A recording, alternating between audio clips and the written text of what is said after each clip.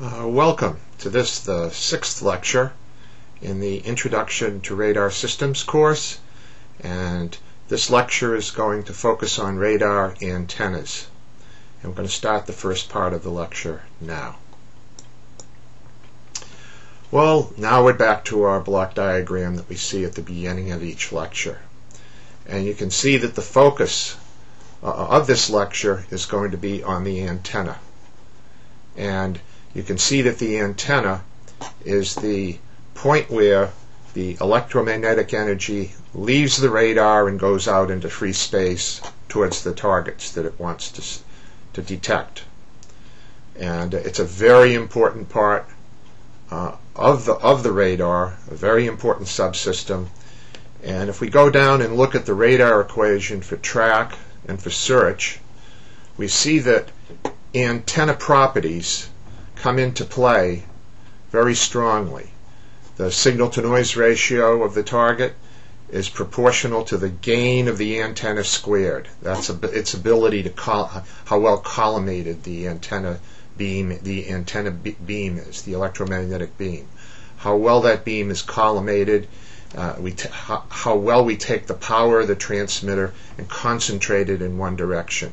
We'll go into a explain to you what gain is. You can see that in the search equation, the area of the, the effective area of the antenna comes into play. They're very important uh, properties. The system noise temperature and the losses that are connected with the antenna also come into play in the radar equation, and they were treated in the radar equation lecture, and we discussed those uh, particular properties. But today we're going to focus on these properties which affect our radar performance in detail. Okay.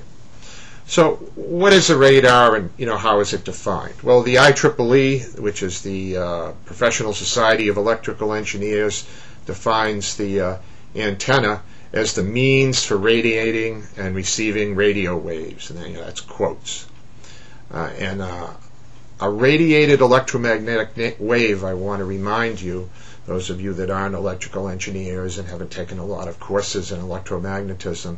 An electromagnetic wave consists of an electric and magnetic fields which jointly satisfy uh, the equations that Maxwell developed in the late 1800s. And, uh, and we're going to show you exactly how those electrical electric and magnetic fields have to play. And, it, the, and notice it's a radiated electromagnetic field and by that it implicitly means that the energy in the, elect- in the electric and magnetic field are propagating out in space, and electromagnetic energy is propagating out in space. And they satisfy Maxwell's equations, which are the physical laws governing all electromagnetism. Now, the antenna is the transitional structure between the, the guide, the device that guides energy out of the transmitter. Uh, could be a cable, could be a waveguide, and free space. So the antenna is that device. And here we see a visualization of the electromagnetic waves in a very simple antenna, a horn antenna. And we could have exciting, uh, generating the electromagnetic wave, a source down here, typically a transmitter, and that could be uh, um, just a uh, an accelerating charge. Uh, could be uh, a charge on a on a, a source that's going back and forth, oscillating, accelerating and decelerating charges, moving currents generate electromagnetic waves. And that wave will go down, uh, a metal guided wave, transition line. In this case, if the, the transmission line is a, a waveguide, it'll be uh, be metal on the sides. And the electric field vector I'm showing you just now the electric field. The electric field vectors go and they go from one piece of metal to another one piece of metal to another. And then you see this this section where the the waveguide opens out and that's called a horn antenna. And the electric field vectors bend going from metal to metal and the energy is pushed out. And when it's pushed out into vacuum, the electromagnetic field lines have to go back onto themselves. And this is, shows you what they'd look like near the antenna. and the energy is pushed out of the antenna in a certain direction. And the nature of how it's pushed out is, is determined by the design of that antenna. And I'm going to show you different designs. If you're an electric, electrical engineer, you know about electrical circuits, and we can model this whole, all this stuff on the left by a circuit where we have a voltage source and its um, impedance or resistance, and that generates a source, and we send down a transmission line, a standing wave, and then the antenna can be approximated by a couple of uh, resistances and a reactance. There's a certain amount of energy that um, we lose in the antenna as the electromagnetic wave goes through the antenna structure itself. The antenna heats up a little bit. And then there's the radiation that goes out. That R sub R represents the radiation that leaves. You'd like that to be most of the energy. And then there can be a little bit of energy. You want it to be a little bit that just hangs around and as part of satisfying Maxwell's equation stays around right near the antenna. And that's the symbol XA is the react the reactance of that. So the antenna would be this part. If we were looking at it a, as an equivalent circuit, that's what it would be visualized by. Now, when we look at what the functions of the antenna are, they, there's about a half a dozen of them. As I said before, it's that transition point, the transducer between the transmitter and free space. The next thing it does is it focuses the energy of the transmitter into a collimated beam so that you get lots of energy density on the target. We don't have energy going in all directions at once. In the introduction, we showed you an isotropic antenna with the uh, energy going everywhere equally likely. We want the energy focused where we want it to go on transmit so the power will get out to the target. Likewise, when we're listening, after we've transmitted, we want the antenna to listen selectively at the angle where the energy is coming back from that weak energy from the echo is coming back. So it also serves as the function of collecting very efficiently by having a well collimated receive beam the energy from the echo. Okay? Another purpose of the antenna is to measure the angle where the targets that you see are located. If you have a very well-defined beam, think of it as a soda straw. And that'd be a, a soda straw would be a very well-defined angular beam in both azimuth and elevation in both angles, and you point that soda straw in a certain direction, you can say, aha, you know you've made a measurement effect. When you, you hear a target echo in your receiver, you detect it, you know if the antenna was pointing in that direction that that's the direction of the target. So you're making um, a measurement of the azimuth and elevation that you can, depending upon the shape of the beam. If it's shaped like a soda straw, you'll get very good measurement in azimuth and elevation. Having that very good measurement in elevation and azimuth also allows you to resolve targets that are nearby in angle. If the, the targets are two or three soda straws apart or a couple of soda straws apart, you can resolve and say, gee, there are two targets near each other. So the antenna allows you to resolve targets also. It also has control depending upon the number of soda straws that you have to transmit, so to speak. Um, before you've looked at all the space you want to, it, it tells you how much you have to revisit space. It, it, it before you, it tells you how long it's going to take to go through and transmit and receive at all the different area of angle space that you want to put out energy and search for targets. Okay? So it, can, it performs all those different functions. And the antennas, this, all these, this collage of, of uh, very pretty pictures show you that antennas come in all sorts of shapes and sizes. Uh, here's a Tradex antenna out at um. It's a dish antenna. That dish is a parabola, and the energy comes out of the source here.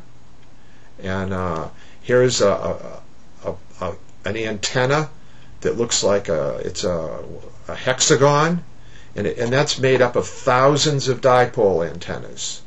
And that, that, that antenna steers electronically rather than mechanically like this one. And here we see a close-up of the face of another phased array antenna. This is a phased array antenna. It, it steers via phase shifting. Here's a picture of that whole antenna. Then there are other antennas that are strips of circles. And here's a spirally antenna and another. They come in all shapes and sizes. If you fly out of uh, in Boston area, Logan Airport, there are air traffic control antennas. And this antenna is rectangular shaped, not circular. And that means that its beam in elevation is much broader than its beam in azimuth. In fact, shaping goes on so that this antenna has a very wide beam, wider than the geometrical shape of the antenna would allude to uh, in elevation than in azimuth. Okay? And we're going to look at a lot of these different kinds. And also, if you look up here slowly, there are two antennas up here, two little parabolic uh, dish antennas that have feeds out at their focus. We're going to get into the properties of all the what what what. I'm just that's sort of a big picture introduction I'm giving to you of what the what antennas look like. Okay, now let's just go over the fundamental concepts of antennas. The first one I'm going to show you is that um, and, and I'm taking the probably the simplest antenna, and it's just a dipole. You have a, a two wires coming out with a, a, electric field between them, and then they go off at right angles for a quarter wavelength in one direction and a quarter wavelength of another. The total length of the uh, of the uh, antenna that comes off perpendicular after the wire goes out. The total wavelength is a half a wavelength. It's a very efficient wave way of transmitting, and it's called the dipole. And this is a simulation of uh, an electromagnetic wave coming out of a dipole. And areas of uh, high intensity are in red, and the lowest intensity in uh, blue, and in the in medium are in the, this greenish yellow. Um, and you see that the antenna has some directivity, maybe 80, 90 degrees and it's a sinusoidal wave coming out. Just like you drop a pebble in a pond, and you'll see a wave go out, electromagnetic wave. Okay, and we're seeing that you drop a pebble in a pond. Now we're repeating dropping the pebble in the pond. So you see it has a shape to it. A dipole has that shape. But also energy goes backwards. Some energy, less energy goes backwards. So there's going to be a real issue. How do we concentrate the energy? A dipole is a simple antenna, but it doesn't have a lot of directivity. How do we generate more directivity? Is an interesting question. And again, notice we're oscillating this, an oscillating source is driving this dipole. Okay? Okay, now let's focus on what is antenna gain. I've talked about collimating, you know. What do we mean by the gain of an antenna? Now, if we take a source that radiates in all directions equally likely, we call that an isotropic source.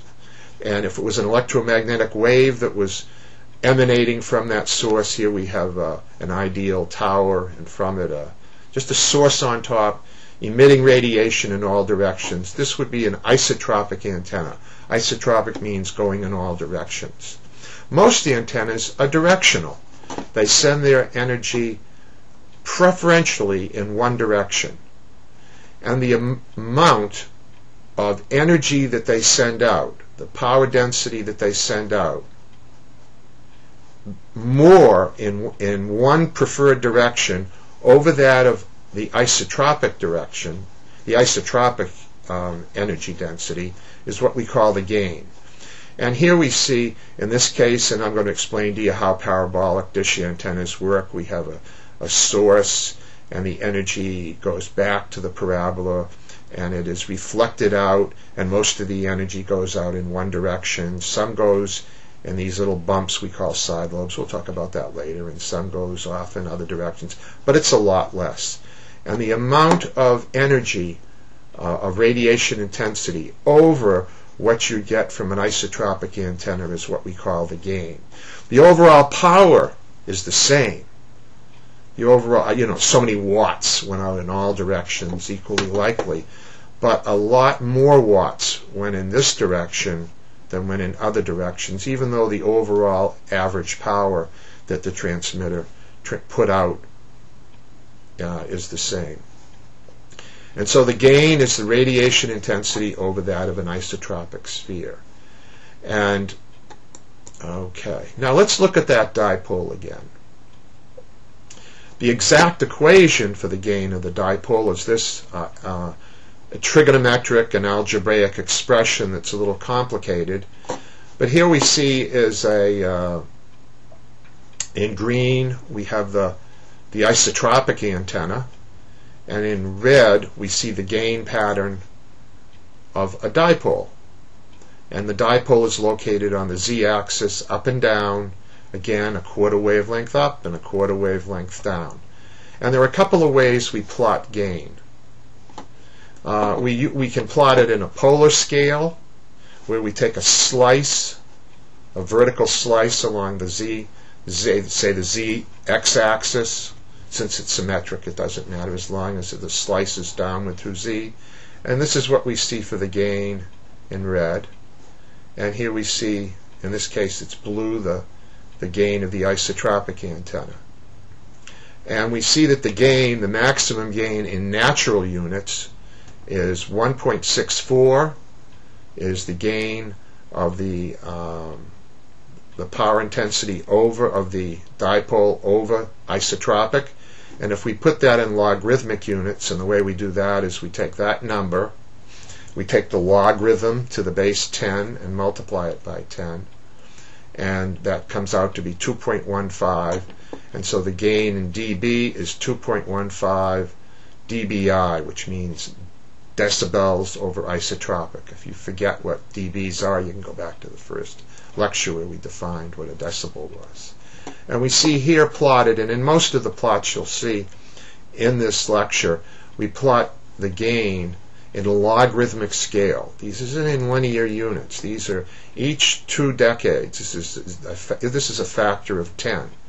So here we're up at 2.15 dB over isotropic as the center gain, and here would be in blue the gain of the uh, isotropic antenna, which is uniform over all angles.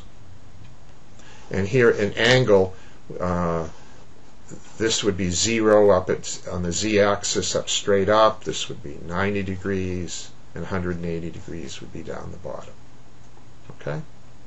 So this is this the purpose of this view graph is to get you comfortable with understanding what these plots are. We're going to see more of them later. Now, let's go back to that parabolic dish antenna. Okay, uh, with a parabolic dish antenna, uh, it has the property that if you take energy, if we take a dish, dish, we take a reflector, and we shape it in the shape of a parabola. Excuse me, we we we make it in the shape of a parabola, and that's just uh, the uh, the distance out this way is uh, the, the distance here squared. And that shape, y equals x squared. That's the shape of a parabola. If we make it in the shape of a parabola and put at the focus of that parabola a feed, then the electromagnetic energy will come out of the feed and go up in this direction, that direction, all these different directions. It'll hit the feed hit the, hit the uh, reflector, excuse me, and bounce back out, and it has the property that the, all the rays will go out parallel. Okay, and and the path length from the feed to the dish and out to a point out here will all be the same. So the the path length will all be the same, and all of the different rays will constructively they'll all add up. And when you look out at far distances, you'll see an antenna pattern that looks like this. Okay? And this is for a diameter of the dish. Uh, if we looked at this dish, it'd be it'd be circular, uh, and this is a cross section of the dish. the dish's diameter of 5 meters, a wavelength of 300 meters, excuse me, a frequency of 300 megahertz, and a wavelength of 1 meter. And for that, that uh, frequency antenna, we'd have a gain pattern as follows. We'd have a peak, it'd be collimated, and the top of the antenna gain pattern we call the maximum gain. And that is, for this antenna, 24 dBi, or 24 dB above isotropic. Okay, that's over a hundred. Uh, 20, 20 dB would be 100. 4 dB would be oh like about three. So it's about 300 times the directivity, the gain of an isotropic antenna, approximately. Now, how wide is this beam? The way we characterize the width of the beam is we go down from the peak, 3 dB, and then we measure how wide the gain pattern is. And it's the half power. When you go down half power, that's 3 dB. It's the beam width. It's with it's the the edge of the gain pattern to the edge of the gain pattern, right left, when you go down 3 dB. And in this case, the half power beam width is 12 degrees. Now, as you go to the left and to the right in angle of the beam, we come down and we go where it seems to almost go to zero, and that's called a null. And then it goes up to and then down. And this bump here and here and here are called side lobes. They are places where we get local maxima of energy, but not at all anywhere near the energy that you want to have in your main lobe. What you'd like to do ideally is to have just about all your energy up here in a relatively narrow beam and very, very little energy down here. And it has to do with how we design the antenna in the feed as to what we get for side lobes and structure. Now, what happens is, is that this feed sends out energy and some of the energy can, when we illuminate the diameter out to here, some of it can go out to the edge and around the back. So we can even get energy all the way over at 90 degrees over here, but it's way down in, in, in amplitude. Okay? So we've, we've gone over what the side lobe is. The side lobe level is 18 dB, and that's from the peak to the top of the first side lobe and the side lobe level is the distance from the peak of the first side lobe down to isotropic, 6 dBi. Okay, you can see these two, the 18 and the 6, add up to the 24 dB, which is the whole size. Now let's move on and ask, well, how do I calculate what the gain is? And the gain is just 4 pi times the area of the antenna the effective area of the antenna divided by the wavelength of the radiation squared. And that's the gain of a parabola, a parabolic antenna. And the, the rule of thumb in the best case is when you're very, very efficiently getting all your energy from your feed into the parabola, and the effective area of the parabola is all of the area. If you put in what the diameter is, uh, pi d squared divided by 4, plop that all in, then uh, you see that the gain is pi d over lambda squared. Now, notice that the gain increases as the aperture becomes what we call electrically larger, that the diameter is a large number of wavelengths. That's about the key thing. When we have the diameter, a large number of wavelengths, we get a very, very, very well collimated beam. Now over here on the right, we're going to look at the effect of aperture size on the gain for a different number, for different wavelength antennas. And let's just look in this case, and we see as the frequency increases, as we go from 300 megahertz to 3 gigahertz, which is 3,000 megahertz, a factor of 10, we move up considerably from oh 22 23 dB for a say a 6 meter diameter dish. We move up to in the region of 40 45 dB we move up quite large. Okay. Now to give you an example which uh, is very poignant here we have two antennas that are out at the Kwajalein Missile Range in the Marshall Islands. And uh, these antennas are radar antennas. And this antenna, the picture doesn't do it justice. This antenna is so big. Well, how big is so big? Would you believe 46 meters across? Okay? It this antenna weighs 880,000 pounds, 440 tons, and it rotates uh, in azimuth on railroad tracks. it's that big, okay? And it is it, it operates at VHF, about 150, 160 megahertz. Now this other antenna over here has a 13.7 meter diameter dish under this radome. A radome is a structure that you use to uh, protect from the elements uh, an antenna, which structurally may be uh, delicate, and but it allows electromagnetic energy to pass through it with very little loss. But and this just shows you the radome, and in it at approximately that 13.7 meter diameter. Now you might think that this, because it's got a big diameter, it's going to have a big gain. But the fact is here, the wavelength is 1.8 meters, and this radar over here, MMW stands for millimeter wave. Its wavelength is 0.0086 meters. Its frequency 35 gigahertz. The electrical, the diameter's electrical size is 25 wavelengths for this antenna, and that gives you a gain when you plug the numbers into 34 dB.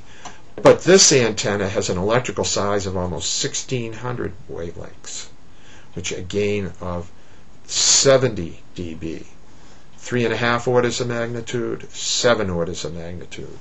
A 2.8 degree beam width, 0.00076 degrees, like a thousandth of a degree, a, little smaller than a thousandth of a degree. So it isn't the physical size of the antenna as much as the electrical diameter, the electrical size that makes really all the difference.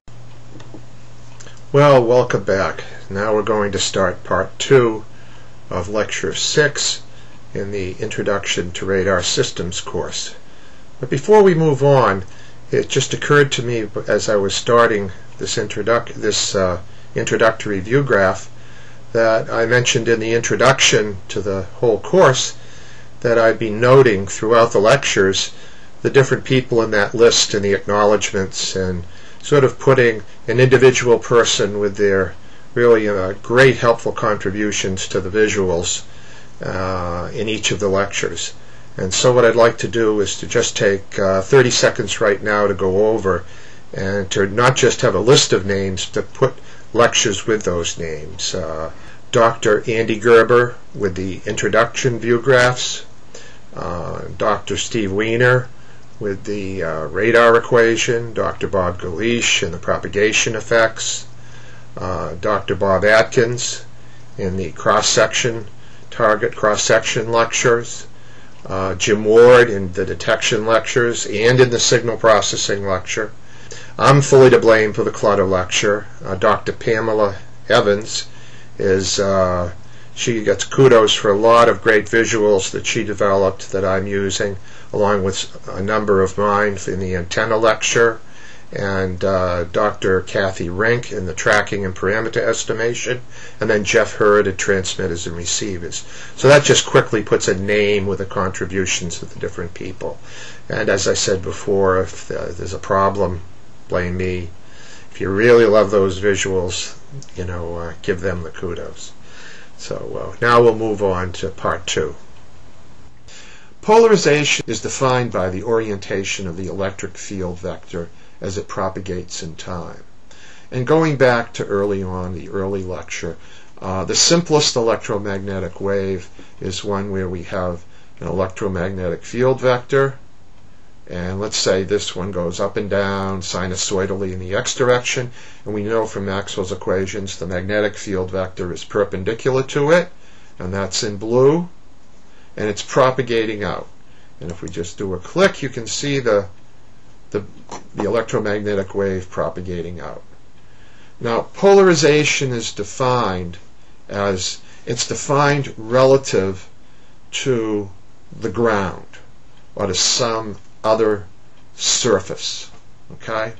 And most often it's defined relative to the ground. Okay? When the electric field vector is vertical relative to the ground or perpendicular to the ground, that's called vertical linear polarization. And here we see this is linear polarization because if we look from the back of where we're transmitting, the electric field vector goes up and down along a line. It just goes up and down along a line. Goes down, down, and up. Let's see if I can do this. It goes down, up, down, up, down, up. Okay? Now, and that's called vertical polarization, and again with respect to the Earth. Now, why would we use that? Well, it turns out that uh, over water, uh, the backscatter from the sea, which you don't want to see, no pun intended, is less at many frequencies with vertical polarization. So you can help yourself when you, if you don't want to see the, the background, by transmitting at um, transmitting at vertical polarization with a, um, if you're in a sea-based radar on a ship, say. It also helps out with multipath under conditions. But if you're, say, uh, a radar that's looking upwards at aircraft, and a big part of the scattering of aircraft are the wings, and most of the time they're horizontal, you'd like the electric field to be horizontal. You'd like linear horizontal polarization. Okay? Now you can remember when we talked in the first lecture, and um, and we talked in the, the lecture on uh, cross section, that the cross section and the reflections that we get depend on the orientation of the electric field vector. And if you go back to those simulations, those uh, finite domain uh, simulations of an electromagnetic wave uh, hitting uh, a plate the, the properties of the leading edge and the uh, trailing edge diffraction, which caused reflections back to the radar, were different when the electric field vector was oriented differently. That's because of the different polarizations. So if you're back here, just imagine an observer back here at the source of the radiation looking out. You just, the polarization, you just look at how the electric field vector of the electromagnetic radiation. If it's going up and down, it's uh, linearly vertical. If it's back and forth, uh, excuse me, it's vertical. Back and forth, it's horizontal. Now, there's another kind of polar, uh, polarization that you can have where you have the electric field vector uh, and you want to you can mix together the polarization and you offset one by 90 degrees in phase and you end up with circular polarization. And by that I mean the electric field vector, uh, when you add the sum of those two electric fields that we made up, uh, electromagnetic waves can be made up of superpositions of, you can have two cross dipoles, each emitting out of phase by 90 degrees, you know? And the, what the electric field that's transmitted will be the sum of the two electric fields. And so the, the sum electric field that's transmitted will have a, a, a sum electric field vector that will rotate in space. Okay, and if the amplitude of each electric field that's transmitted in the horizontal and the vertical are the same, it, the electric field will go in a circle. Okay? And it can be go in a circle in one direction or the other. And here we have that uh, a visualization of the electric field vector propagating out, sort of like a slinky. The, the tip of the electric field would follow the path of a slinky. Now, if you're behind the vector, you're behind again, you're at the antenna looking out, and the electric field vector goes in a clockwise direction, it's called right-handed circular polarization. And if it goes, the electric field vector goes in the opposite or counterclockwise direction, it goes, that's a left-handed circular polarization vector. Well, why would we want to do this? First, let's look at a pretty animation. Animations are always fun. Okay? So this is what, for right-handed circular polarization, the electric field vector would, that would be the electric field vector as a function of time, the total electric field vector. Okay? And that would be for right-handed circular. Now let's look at left-handed circular polarization. Okay? Okay, now why would one want to do this? Why would one want to do this? There are lots of times when you want to calculate, when targets can have mixed properties. You don't know like whether a, a, a target that would be preferentially um, and uh, would give off one kind of polarization or another, and so you might want to propagate both linear and horizontal at the same time. Or you, uh, there are uses that if you in, uh, in, many different radars where where you can discriminate um, one kind of a target, one thing from another, and uh, and, and, rain mitigation is probably the best one. Uh, a rain. Uh, you'll see in the lecture, then actually it's the next lecture, lecture 7, uh, where we discuss in detail uh, backscatter of all different kinds of unwanted targets, and one of them is rain. If you have a radar that's operating and it's raining outside, well, you're going to have backscatter from the rain and backscatter from, say, aircraft targets that, that are of interest. Okay? Now, what is rain? It's spheres. Okay? And the mechanism, as you'll see in the next lecture, of how the the, the rain scatters back is it refracts into the raindrop and it changes sign. Um, it changes the, uh, if you transmit circular polarization of, say, right-handed circular polarization, as it re- reflects in the raindrop and it comes back with the opposite sense of polarization. So if you set your antenna up to receive the same polarization that you transmitted, then you don't see the rain. You mitigate the rain. If the raindrops are spherical, sometimes they're elliptical. I'll get into that in the next lecture, so maybe. But the point is, is that you'll mitigate the rain significantly if you transmit circular polarization and receive. Now, what about what happens with the targets? Most targets are a mix of linear, uh, of scattering that's back that will come back uh, in each polarization and so you'll get a mix of polarizations when you from the target, and you you you'll uh, you'll lose some a little bit, but you lose an awful lot of the rain, and so transmitting with circular polarization and setting up that receive mechanism that I talked about will help you in uh, in a rain problem. Won't solve the whole problem. Doppler processing, which is lecture 8, is really the way to solve it. But um, it's one of the ways that circular polarization is used. Okay, now let's talk about the different field regions. One of the things that we talked about is that Maxwell's equations, uh, these four simple, beautiful equations that tie together electromagnetic fields, electric fields, magnetic fields, currents, and charges. And when we have radiation, Maxwell's equations have to be satisfied. Now, having studied Maxwell's equations, I think I've taken one, two, three, four, four or five full year courses that were essentially Maxwell's equations. Um, from undergrad, from just in undergraduate and graduate school, let me tell you, solving Maxwell's equations for very simple things can be easy, and it, people make a lifetime, a living solving Maxwell's equations. And when you take such complicated, they look theoretically beautiful, but complicated equations, complicated situations that you want to solve, you have to make approximations. And you can it turns out the solutions get to be real easy when you're very far away from the antenna. And when you want to do things like calculate the, the pattern of the antenna, the gain and directivity. polarization issues. You want to calculate the radar scattering cross section.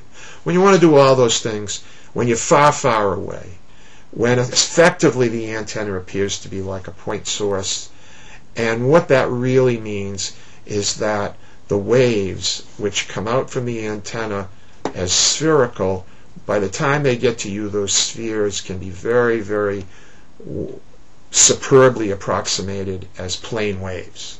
Under those conditions, that's in the far, that's called the far field, and these, this is the algebraic condition when that's true. If the range is greater than twice the antenna size squared divided by the wavelength, then you're in the far field.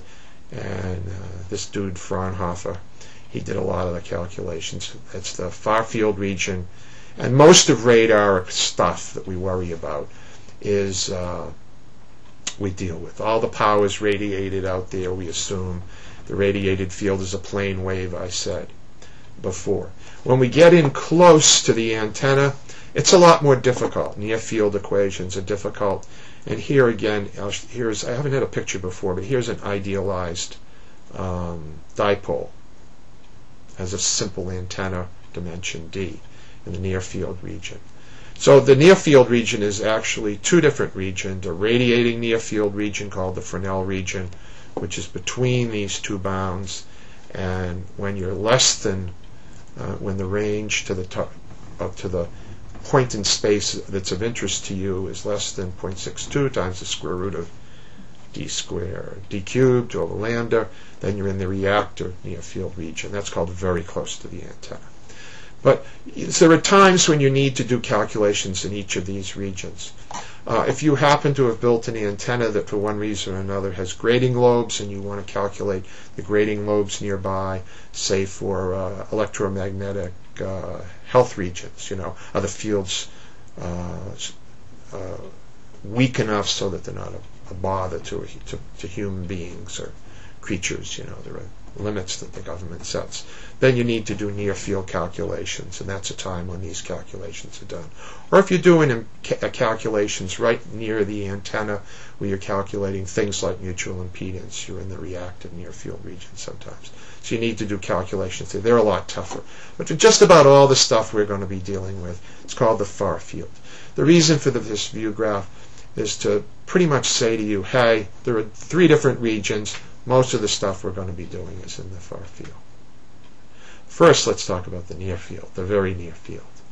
Now, with the antenna, um, you know the goal is to get out all of that energy as, and to make the the transmit transition between the waveguide and the uh, the free space as lossless as possible.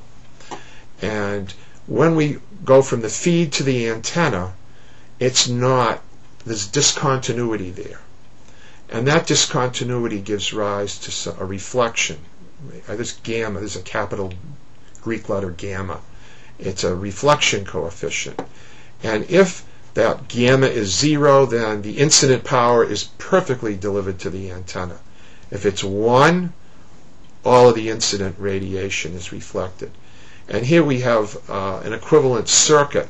We showed you that. There's the loss in the antenna, the radiation that goes out, and the, uh, the radiation, the reactance, it's stored in the antenna. And what happens is when it's reflected back is some of the energy, um, if too much of it is reflected back to the antenna, from the antenna to the transmitter. All hell breaks loose because the transmitter can't stand it. You're sending out megawatts or tens of kilowatts of power. You send back 10% of that, and you've got real problems. Transmitters will shut down because big pieces of metal expect efficiency, and if they don't get it, they melt. So there's all sorts of safety devices in these transmitters to make sure, high power transmitters to make sure this doesn't happen. But it's a very important thing to design the antenna to maximize this power transfer from the transmission line. Now, it can be modeled, the antenna can be modeled as an impedance. And again, just to remind you, the impedance is the ratio of the voltage to the current at the feed point. Okay? Now, sometimes, and I don't have it on this view graph, a measure of how good that match is is called the standing wave ratio, VSWR, variable standing wave ratio. And when um, When uh, all of the power goes out, the standing wave ratio is 1. When all the power is reflected, it's infinite. And the input impedance that you have here defines the frequency range over which your antenna can operate its bandwidth. Okay. Now I'd like to move on to reflector antennas in detail. I went over a little bit of this before. I probably uh, stole a little bit of my own thunder. With a parabolic reflector antenna, remember I said if you have the uh, feed at the focus, the path length from the focus where the source is reflecting off the parabolic surface and out to the wavefront is the same for all rays of energy coming out. So we have a fine wavefront here. What I'm going to focus on here is the issue of the, the trade-offs that go on and how you design where you put the antenna. Well, you have to put the antenna pretty much at the focus. You have a little bit of leeway one way or the other, but how you design this feed. Okay? Because if we make the feed too big, some of the energy will spill over and we won't efficiently um, have the energy reflect off the parabola and go out. And if I have uh, the, the energy focus too narrow, then the effective diameter of my antenna won't be that big. I, I would like to see uniform illumination of the whole parabola and then none afterwards. And that assumes things you just can't do in a feed very well. You can taper the illumination of the feed, that can help out. But anyway, for a realistic antenna, there are all these different areas, and I'm just going to go over them for a minute. We've got the main lobe at zero degrees, straight out here on axis. And then this is a little, it doesn't have a minimum before the side lobe, but it's called a vestigial lobe, a shoulder. Uh, but when you go, you go down to a null and then up, we call that the first side lobe. And then we see the side lobes get increasingly down lower and lower. And when we have a real, this is a null not a local minimum, but it's a real null down there. And then we have some radiation out a little after 90 degrees, which spills over. So when the angle is over here, some of the radiation from the feed leaked over here, and it's down in the side lobe region, below the first side lobe. And we can even get energy that leaks and diffracts back around the back. So we can even have some energy albeit it's down 40 dB, that's 10,000 times down from the peak, but we can have some energy, and that's called, go all the way around the back, and that's called the back lobe. So the f- design of the feed is a very important thing. Now, one of the ways that we um, uh, issues that we can have with the parabolic feed are that you have to take waveguide or cable and it has you have to have that feed. When you saw that feed with the the parabola, it was sort of hanging there in space, and it just doesn't hang there in space. Let's just go back for a minute. You know that feed just doesn't hang there in space. You have to have some struts from the antenna holding it up, and they're going to block some of the energy going out. So you're going to have a loss and gain from that. Then you're going to have to have a feed that's going to take the energy from the transmitter and loop it around behind. And that and you're going to if it's a heavy feed, you're going to have to have structure to hold it. So you're going to have blockage issues. There's another design rather than a simple parabolic antenna that you can use to mitigate some of these problems, and that's called a Cassegrain, Cassegrain reflector antenna. If there are any of you out there that are uh, deal with uh, telescopes. Cassegrain is one of the uh, optical uh, designs that telescopes are. Others a Gregorian design, which I won't get into in this lecture at this detail. But anyway, what you do is you have your para- parabola, and here's our where we put the feed if we were if we were going to use a parabolic feed. But if we take and we put a hyperbola which is another geometric shape, relative to this uh, focal point, we put a hyperbola, then what happens is, and then I put at the focus,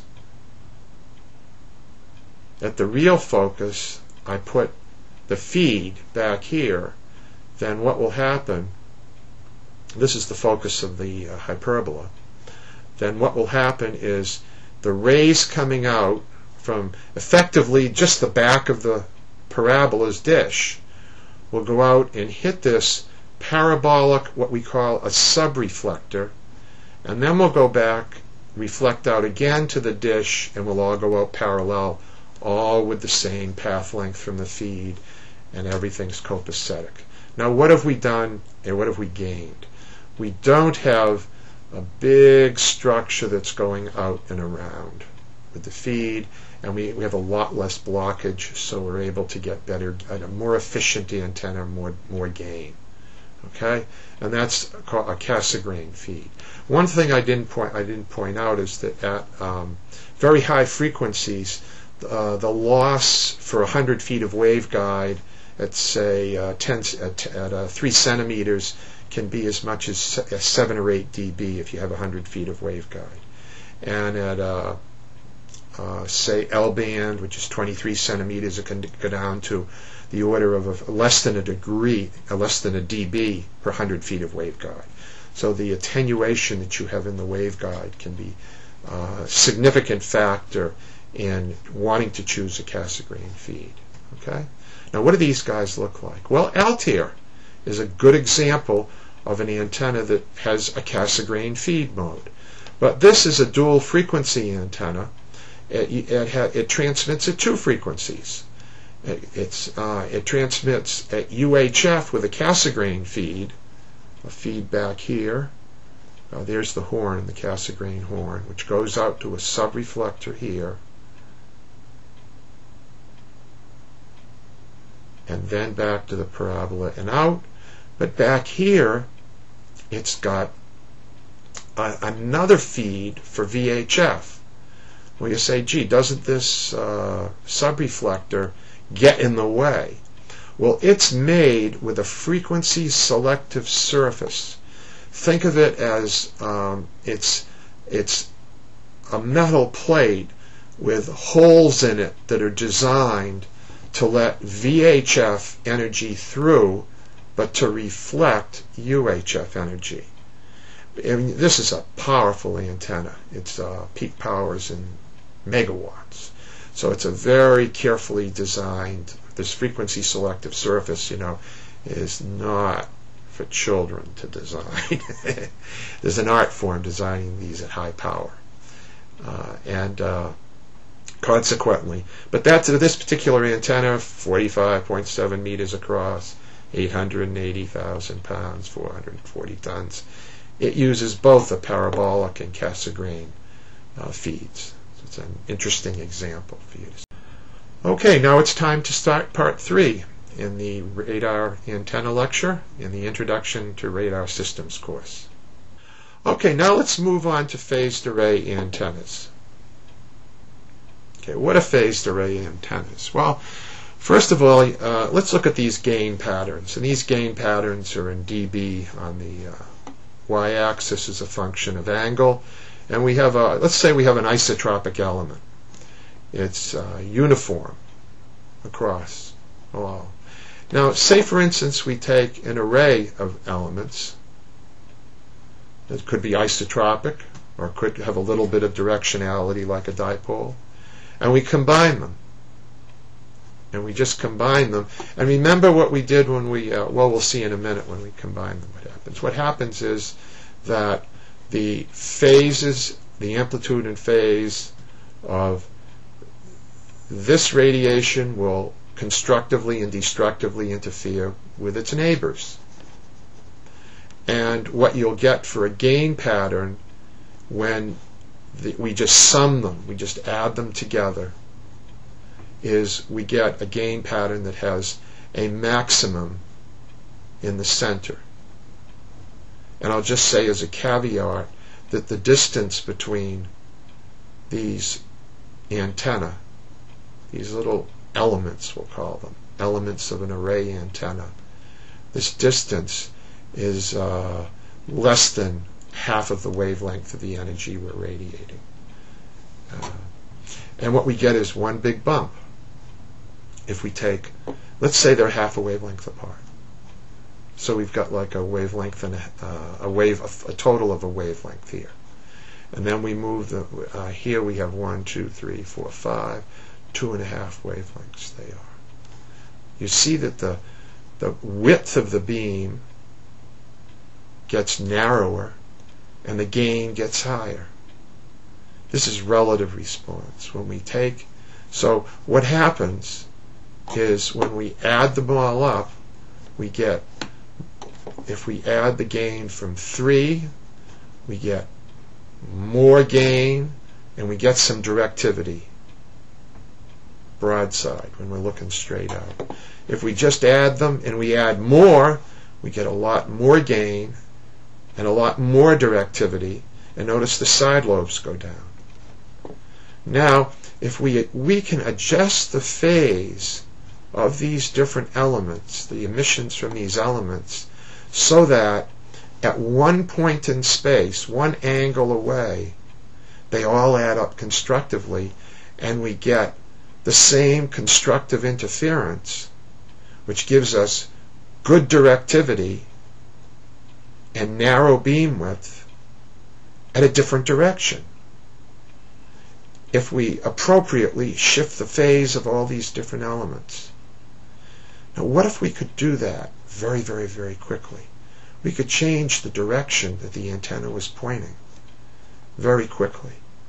Now, I'm going to steal my own thunder. People decades ago invented ferrite phase shifters that could shift phase at high power in microseconds. Imagine that big antenna that we just, I'll go back to it for a minute. That big antenna. Say it's pointing up in space in one direction.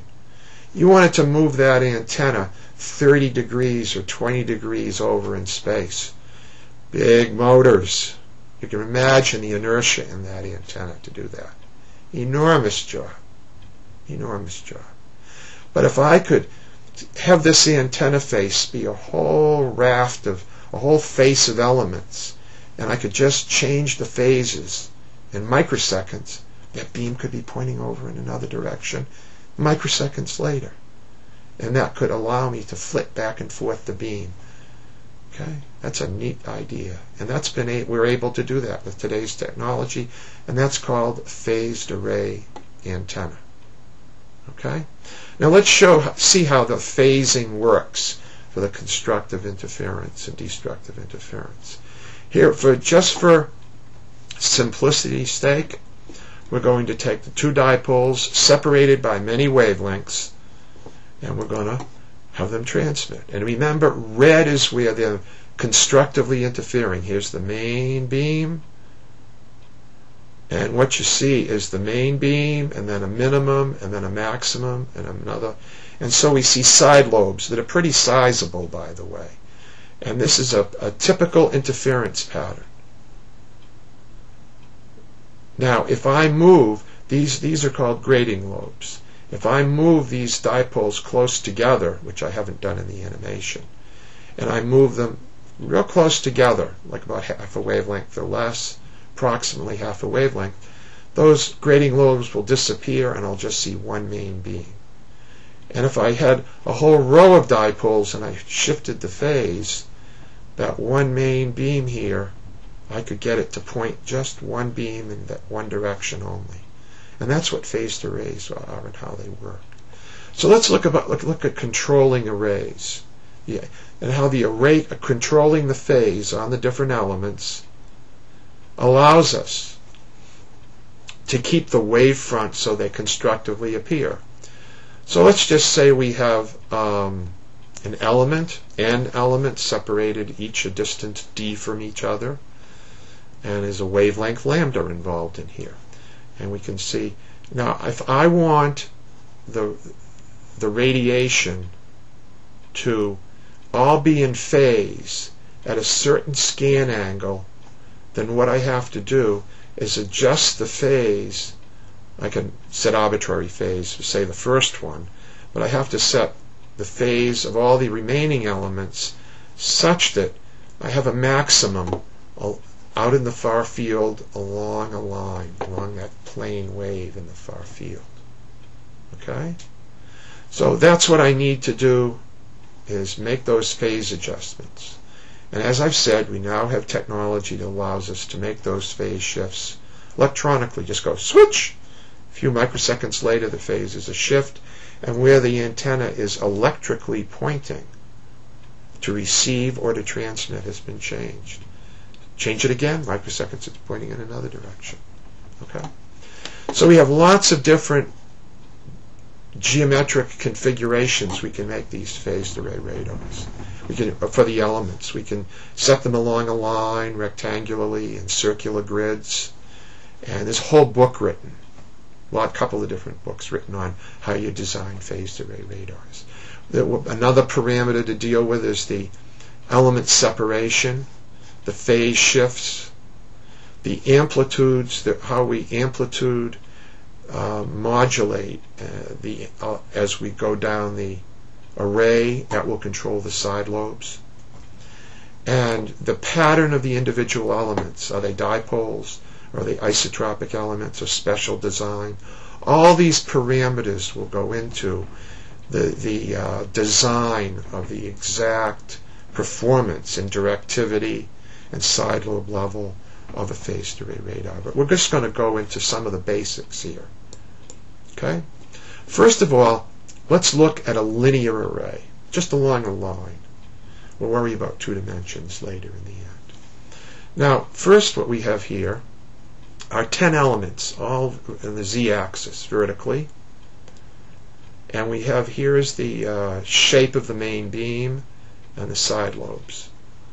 And here we have, and this here we show this would be on a linear scale, but right up here is on a dB scale where you see the side lobes, and you can see the the side lobes, the, the gain is this is 10 dB above isotropic, and zero is the uh, this is the gain above isotropic.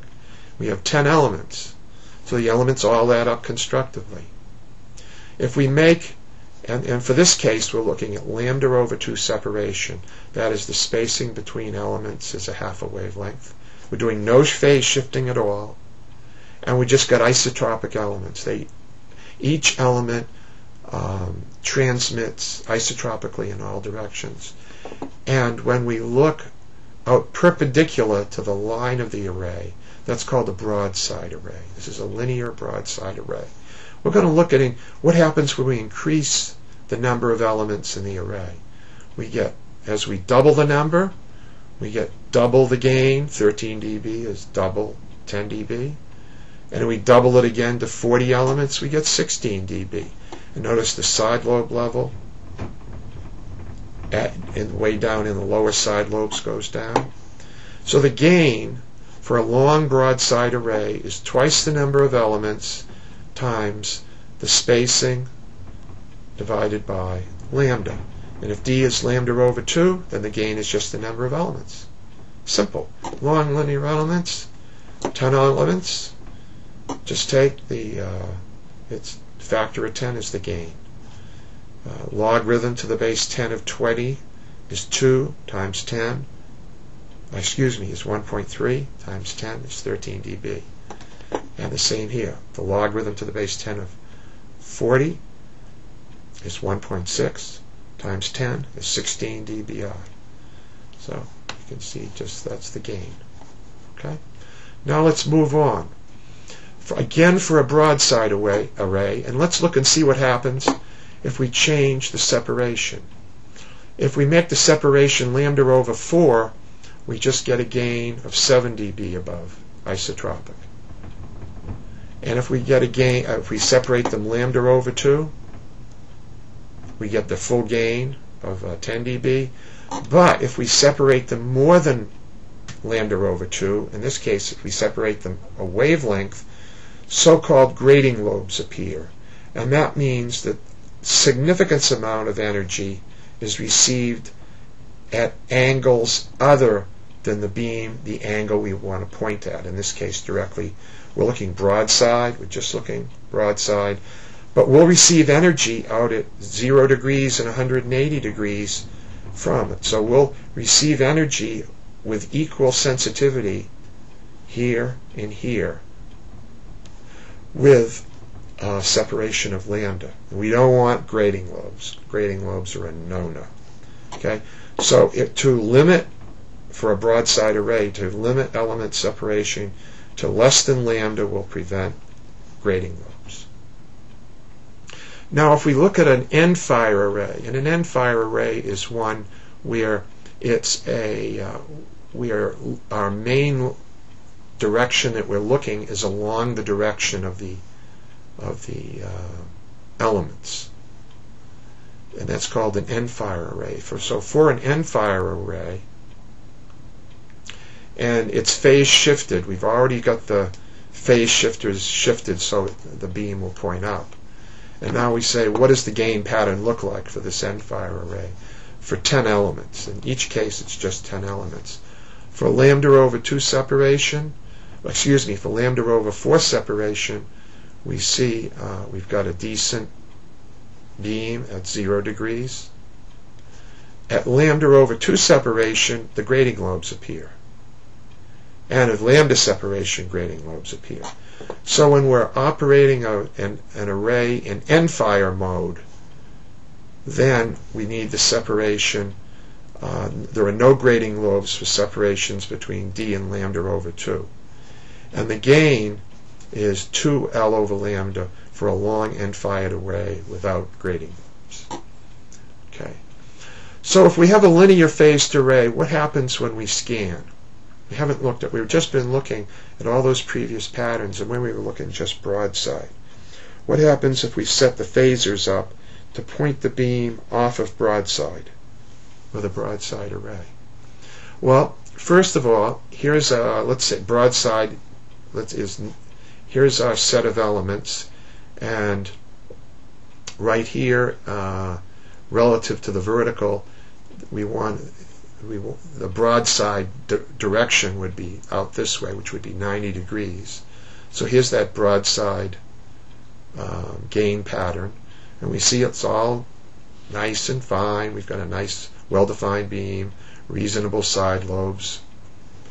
If we shift it out 30 degrees to the angle, we see that the broad beam, the beam broadens. And if we shift it out 150 degrees, broadens even more. And if we shift it out 90 degrees, we get um, it shifts, it broadens a lot. So the beam width increases as we scan off broadside. So to keep to scan over all space without grating lobe, we want to keep the element separation at uh, between at less than lambda over 2. That's an important thing. Okay? And for this is a case where we scanned every 30 degrees with 15 elements and the separation was lambda over 4. But the bottom line here is don't make your separation elements greater than lambda over 2 if for all, all space you don't want to see grating lobes. Now, this broadening is a, an important factor, and you lose resolution. So a lot of the time, people don't want to scan more than 45 degrees because they don't want the, the, the lose angular resolution, and that'll allow you to go like uh, 0.7 lambda. You know, you know, not lambda over 2, but 0.7 lambda for your spacing. Okay. Now, one, over, one other thing I want to point out is that the gain drops with the cosine of your broadening angle. Now, like the gain goes down uh, with the cosine of your beam off of broadside, and the beam width increases uh, by when it'd be your baseline beam width divided by the cosine of the angle that you're off of broadside. That's a little, little tidbit I'll add in. Now, what do you do with planar arrays? Well, Ah, here we have it right here. Excuse me. Um, with planar arrays, it's just adding another dimension. A planar array is just an array of linear arrays. And here is um, the pattern you get in three dimensions with um, spacing of lambda over 2 and with five elements. And as we scan off a broadside, say theta 0, as I just said, the beam width broadens by 1 over cosine of the scan angle, and the directivity, the gain, decreases by the cosine of that scan angle. And again, for a planar phased array to scan over all space without grating lobes, keep the element spacing, separation in both directions less than lambda over 2. And my rule of thumb when I'm thinking about designing antennas, because of that broadening effect, you can get away with 0.7 lambda when I do my radar phased array designs, because you don't want to suffer the kind of beam broadening and directivity decreasing if you go out more than 45 or 50 degrees. That's a trade-off in the radar systems design, though. This whole business of what happens when we take a set of elements and put them along a line all assumes that we that one element what we that the effects that we see in, in the far field and in the near field and everywhere. One doesn't affect another and how we design that antenna is the, the, the, what the patterns of each element are independent of any other elements nearby and that's not true because Maxwell's equations have to be satisfied everywhere.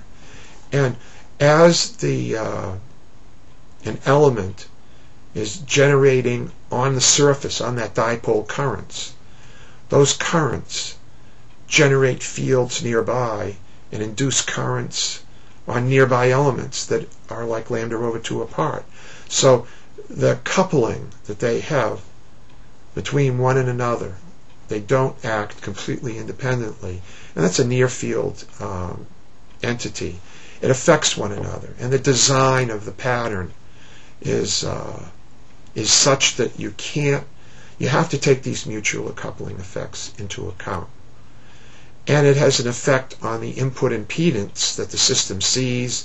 And it also depends on scan angle because you can understand that as you scan the antenna so the radiation is pointing more in one direction than in another, then it's going to affect the currents that are induced in the nearby antennas. So the in, impedance effects are going to depend on how you scan. The mutual coupling effects are going to. So this is a complicated.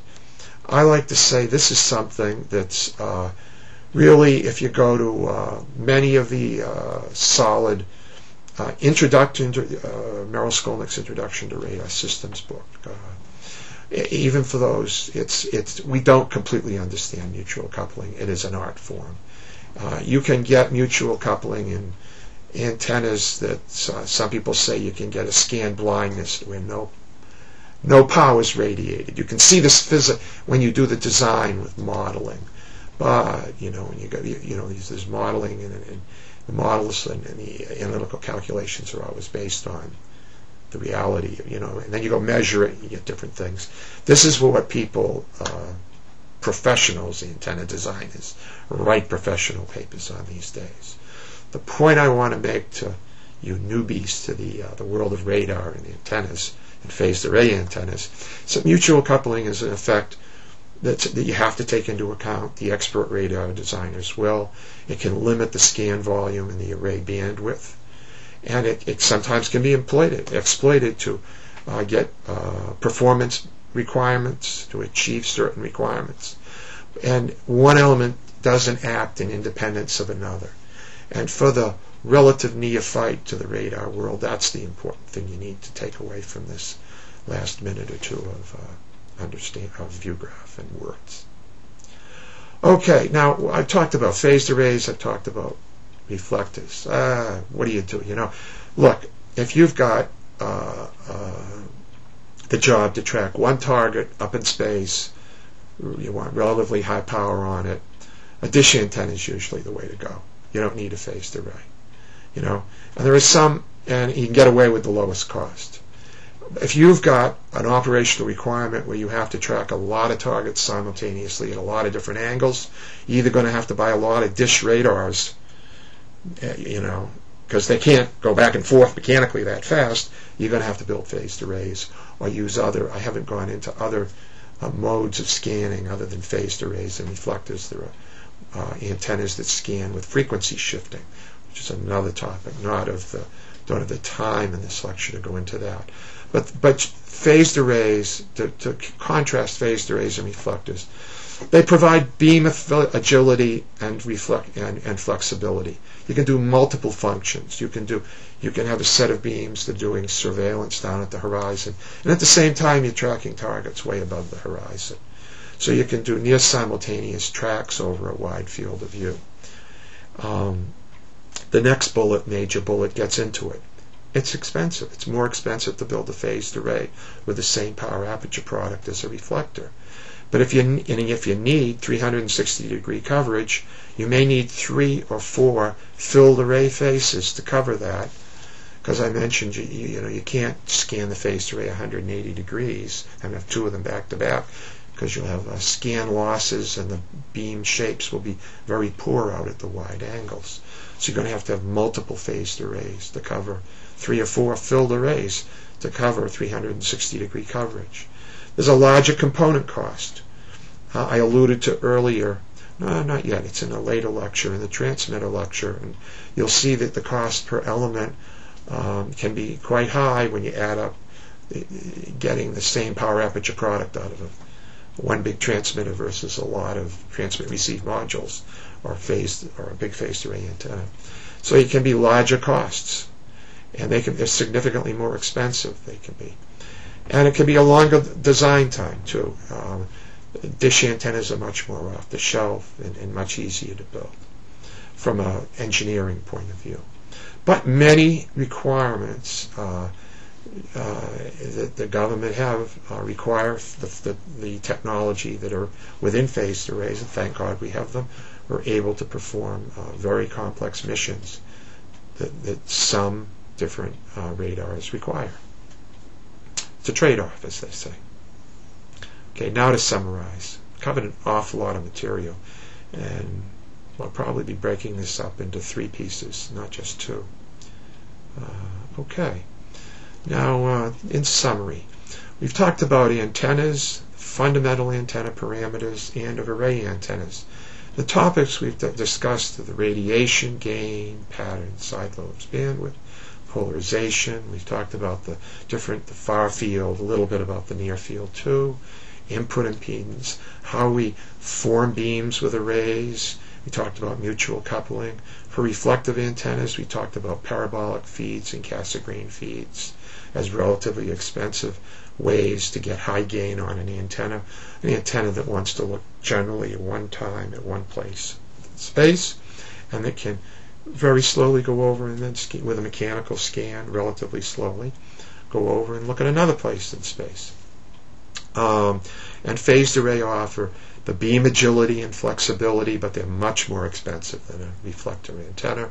And as I mentioned also, there are different, there are other kinds of antennas that use uh, frequency shifting to uh, do scanning. And then radars also can be hybrids of phased arrays where you can uh, have phased arrays for one dimension and mechanical scanning in another direction, or frequency scanning in one dimension and mechanical scanning in another. So you can build hybrids of them. And um, so there, that, so what I want to just let you know in, in ending is that it's a very rich topic that we probably could spend uh, double the time we've spent on it.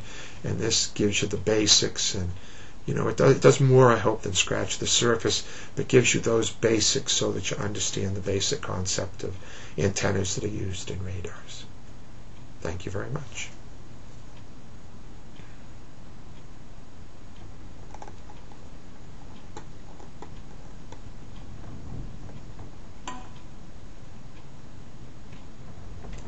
Hello, now we'll start part two of the uh, radar antenna lecture, and it's lecture six in the Introduction to Radar Systems course.